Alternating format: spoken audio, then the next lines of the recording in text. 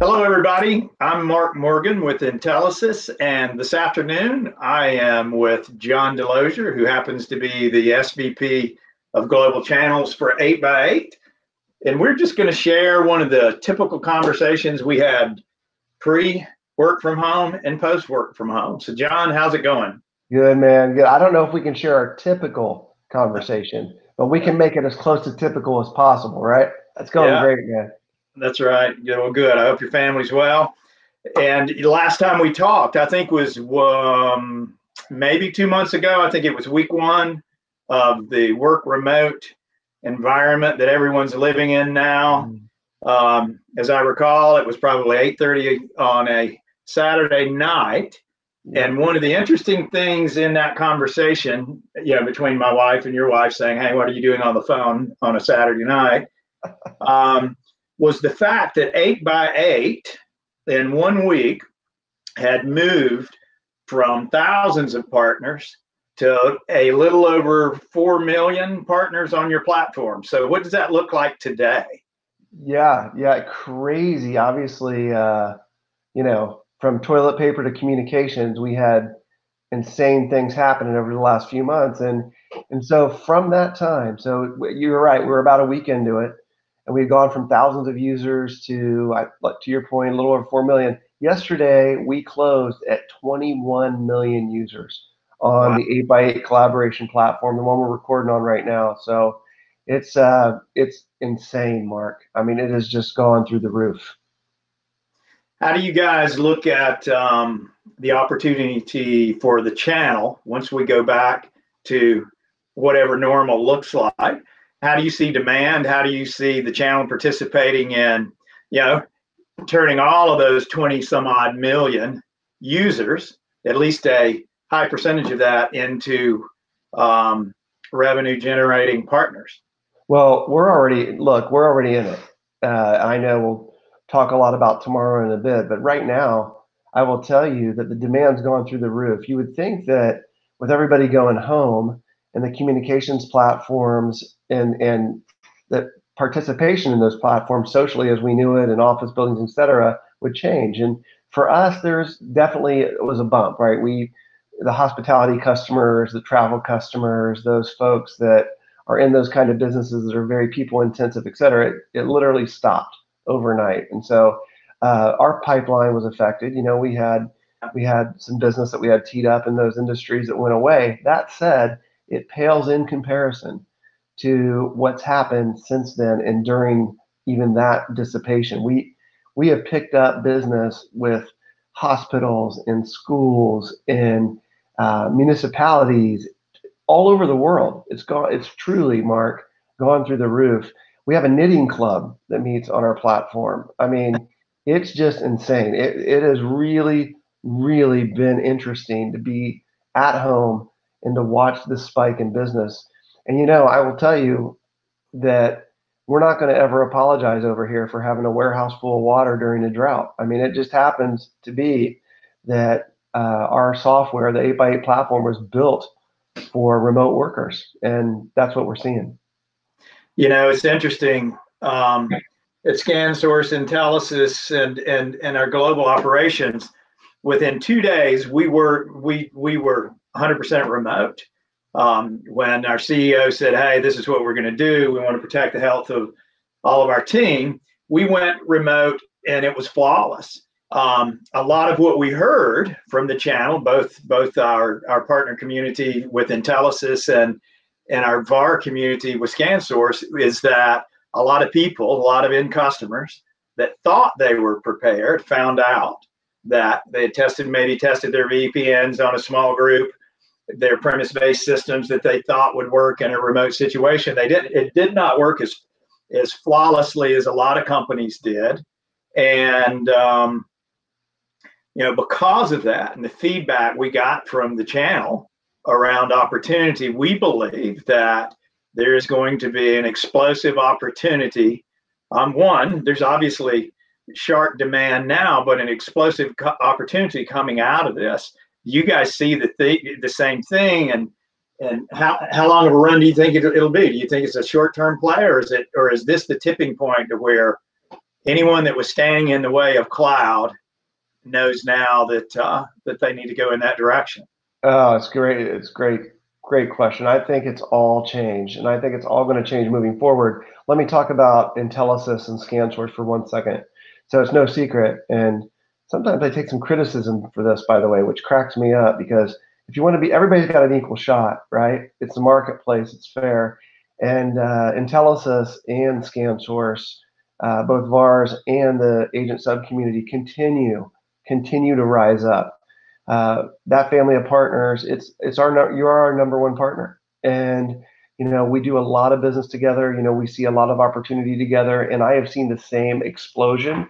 What I've said to not only the ScanSource family of partners and the partner community as a whole is is this is nobody's seen this. Nobody's seen what's happening like today in 100 years. My CEO, Vik Verma, who I know you're pals with, said to me, it's like the worst hurricanes, 9 11, and 20 other disasters hit the entire world at the exact same time.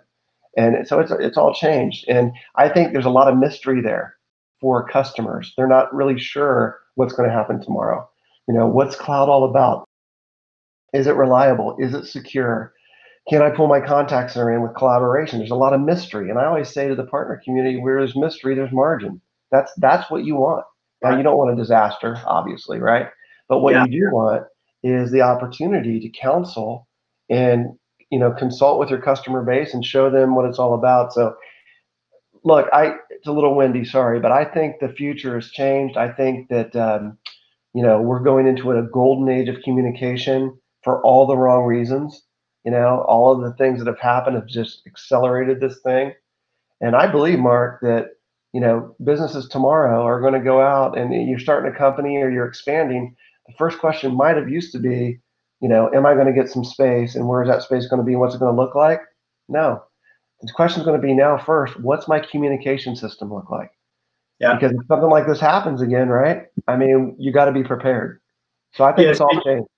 So, you know, you you mentioned contact center. Do you have an example of of um, out of the box strategy that you guys might have implemented over the past couple of weeks just around contact center alone a, a, lot of a lot of times you when people think of contact center they think of a, a lengthy implementation and integration. Did you have situations to where you created quick start opportunities for for end customers for contact center? Yeah we sure did especially around healthcare. So we've had a couple healthcare uh, agencies. We had a major hospital that specializes in pediatrics. Um, we had hospitals all over Italy that use our product, literally call in and say, hey, uh, the demand is through the roof. We have beds in between the building and the parking lot. Uh, we're taking care of people in the front yard. We need, uh, we loved ones are trying to find out what's going on, you know, with their parents or their grandparents or their kids, or um, we we're trying to schedule appointments. We also, by the way, from a telemedicine perspective, are trying to diagnose over the web, et cetera. So can you stand something up for us? And that's the beauty of cloud, Mark. You know this. There's no truck pulling up back there, pulling off a big old PBX and a three-day cutover where I'm bringing the beer and the pizza. You know, those days are over.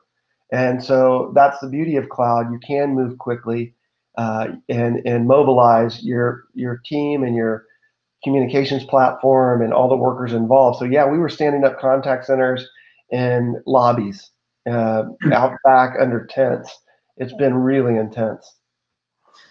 Well, that's good. I, I think I think um, I've heard I've heard similar stories multiple times, and I think one of the key things that that we've been looking at, you know, back earlier this year, we we we started adding to our staff with Intelisys. We continue to invest there, and and not only are we doing everything we can right now to potentially help partners with um, with escalations, et cetera, in their commissions on the Intelisys side, we've been doing a lot to help. Um, you know, a lot of the guys on the VAR community that have been maybe sitting on the, on the fence for moving from, you know, prem based to cloud.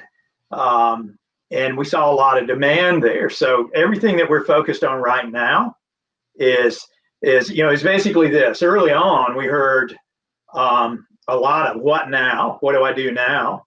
we, you know, we did everything we could to shore up our business and put the right people in the right seats around, you know, uh, potential issues and escalations around end customers. But today, we're moving to what's next. You know, what what do we need to be prepared for tomorrow and the upcoming months and the upcoming quarters?